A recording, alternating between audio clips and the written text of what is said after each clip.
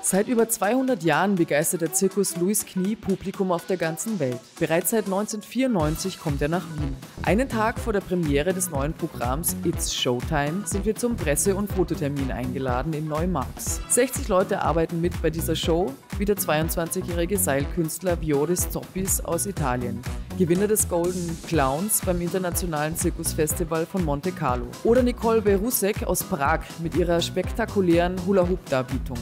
Ihr Vater war übrigens siebenmal schnellster Keulenjongleur der Welt. Spaßmacher Jimmy Folko aus Verona führt durch das Programm und verrät uns, wie man Clown wird.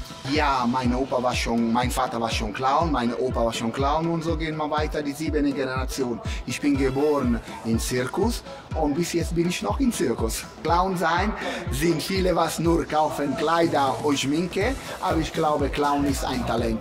Bist du geboren wie das oder bist du nicht geboren?